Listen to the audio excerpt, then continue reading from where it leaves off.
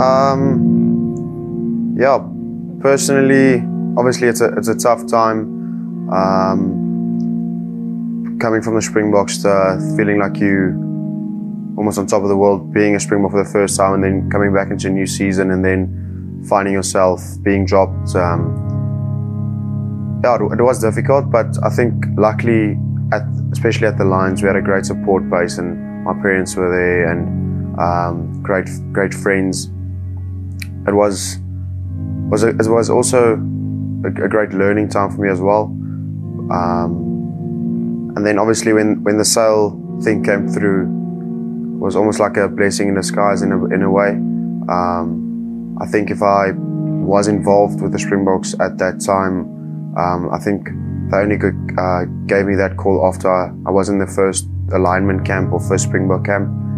Um, so yeah, if that didn't happen, I probably never uh, went to Sale and probably never would have sat in this chair again. So um, I think it's I always try and look at things and and see where what happened and where, why I got here again. So I think there's always a silver lining to everything. So for me, just to to be able to be back here again um, shows that if you work hard and and you take the opportunities that, that you will get on top again. And yeah, just. Uh, yeah, funny story, but yeah, I'm happy to be back.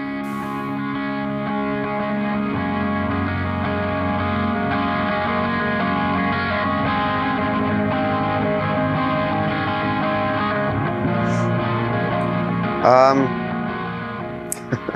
yeah, it's gonna, it's, it's not a lot of thoughts going through in, in that stage on the pitch. Um, I know it's Nathan Hughes is a very good carrier and he's a big guy and I knew I had to go all out to to make that tackle and luckily it was a bit high and I got underneath him and I felt I lifted him a bit so then I just had to drive through and, and take him down to ground. Um, if you don't have, have passion behind what you do and you don't have heart then I think you can be as big as you as you want to be and you're not going to get anywhere.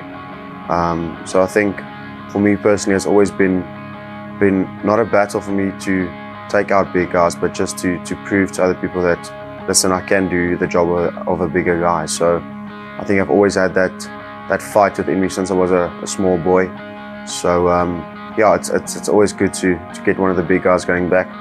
Um, gives me, pumps me up a bit and, and I think it pumps up the other guys around me. So um, I try and use that to, to motivate, motivate the guys and then, um, yeah, just hopefully it's always a good feeling to, to get a big hit on someone.